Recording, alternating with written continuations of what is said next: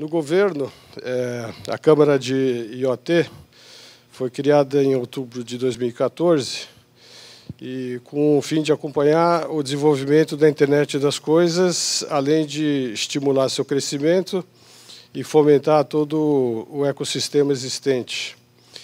É um órgão multissetorial composto por membros do governo, academia, associações privadas que representam diferentes setores do mercado com os objetivos de acompanhar, subsidiar e promover a comunicação M2M e a IoT no Brasil.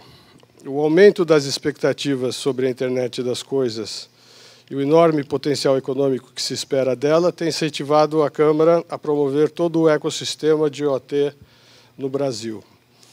Para isso, será lançado em breve um Plano Nacional de IoT, que servirá como um guarda-chuva, contendo diretrizes gerais, ações específicas e metas a serem perseguidas. O papel do governo é de coordenar ações e incentivar setores-chave, tais como a manufatura avançada, agricultura, logística e cidades inteligentes. Cidades inteligentes é um tema é, especialmente importante aí para a nossa secretaria, tendo em vista que nós temos uma diretoria é, que cuida desse assunto, né? que é uma diretoria, como eu estava falando, que ela tem projetos, ela desenvolve projetos para conectar com o anel ótico os equipamentos públicos dos municípios, assim como para disponibilizar hotspots é, de Wi-Fi assim como é, disponibilizar capacidade para distribuição.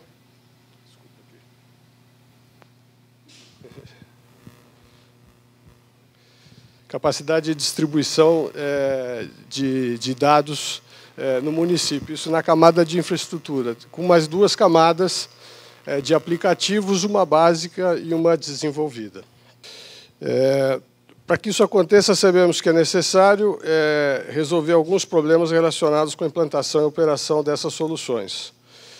As questões podem ser, é, é, dentre as questões que podem se tornar barreiras para o desenvolvimento dessas soluções, destacamos a necessidade de fontes de financiamento, o desenvolvimento de modelos de negócio, a privacidade dos dados capturados pelas aplicações, a interoperabilidade das plataformas, a segurança dos sistemas e a formação de mão de obra capacitada.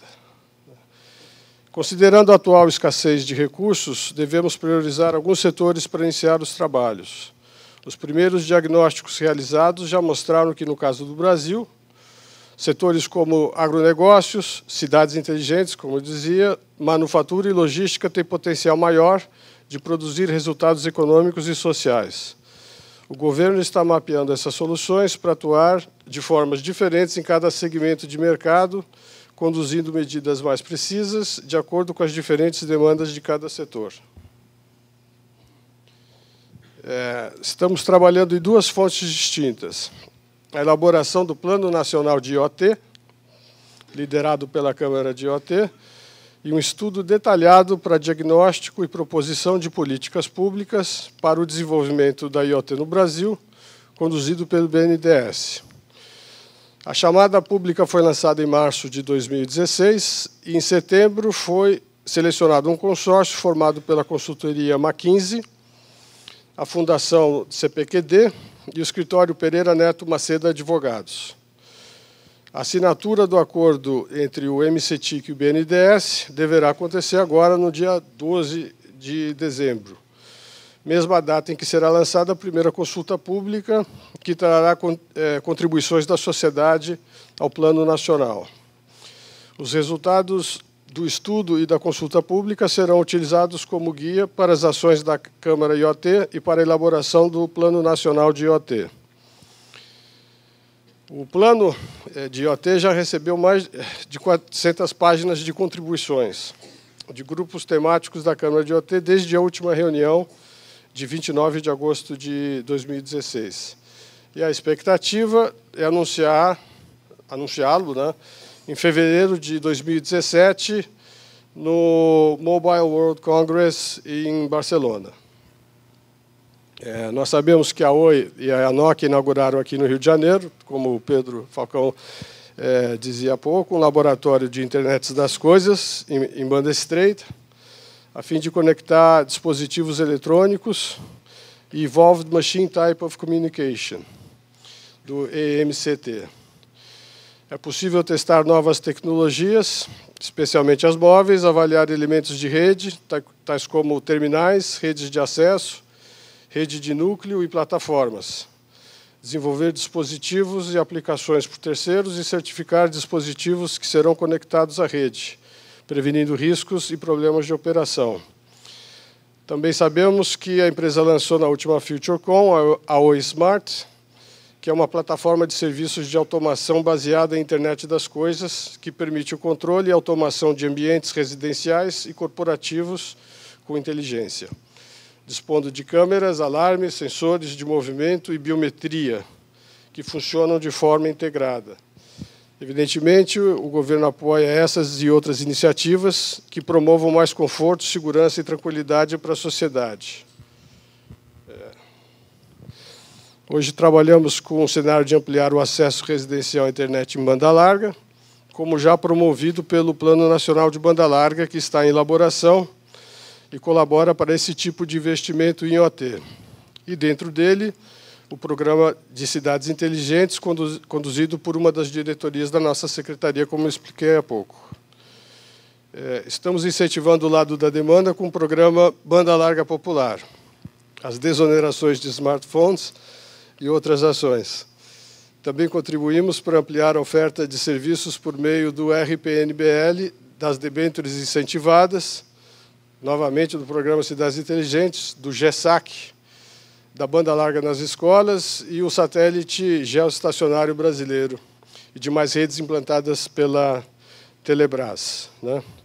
Com relação ao RPNBL, é, nós temos atuado no sentido de, pelo menos, estender é, o programa existente, que se encerraria agora no final do ano, para até o final de 2019, sendo que em dezembro de 2018 para compras e 2019, dezembro de 2019, para, para concluir a execução desses programas, reconhecendo que a crise atrasou bastante né, o cronograma físico é, de todos esses projetos. E aqui o que se espera, e, e é evitar que um benefício é, passe a ser é, uma, uma causa de onerosidade né, para essas empresas que vai exatamente na contramão da, da nossa política pública.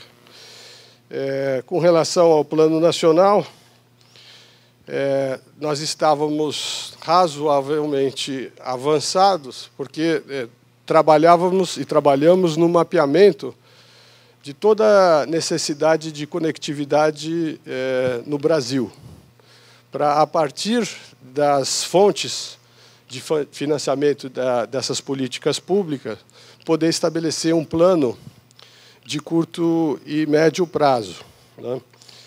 É, agora, com a aprovação que foi anteontem, eu acredito, do do PLS 79 no Senado, que, que, que promove ajustes na, na, na LGT, agora é, nós já estamos começando a ficar um pouco atrasados, né, porque é, o valor de adaptação das outorgas vai é, exatamente representar uma fonte de, de custeio dessa política pública. E, portanto, agora o plano realmente ele tem que ser tem que ser concluído o, o mais rápido possível.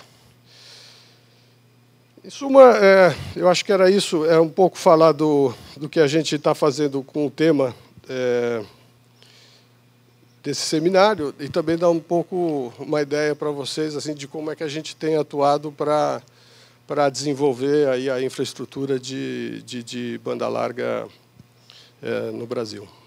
Obrigado.